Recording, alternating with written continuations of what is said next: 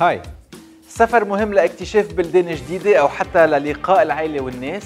لهيك ما حدا بيحب يضيع وقته بالمطار وبيفضل يتركه بسرعة.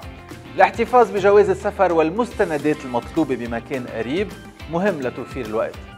تخفيف من الأمتعة والأغراض بيسرع عملية مغادرة المطار. تأيد بالإشارات واللافتات بيساعد على التنقل بشكل أسرع والوقوف بالصف بيسهل الحركة. تجنب الشنط الكحلية والسوداء بيسهل التعرف على الأمتعة وعدم تضييع الوقت لإيجادها ومن الوسائل المعتمدة كمان ربط الأشرطة الملونة. اتقان لغة البلد بيساعد على إجراء المعاملات بشكل أسرع وممكن حتى تعلم بعض الجمل الأساسية يلي ممكن يستخدمها الشخص بالمطار. مين قال إنه التعرف على قانون المطارات والامتناع عن حمل الأغراض الممنوعة بيخلوا الخروج من المطار يتم بشكل أسرع. أنا قال بشوفكم بكرة.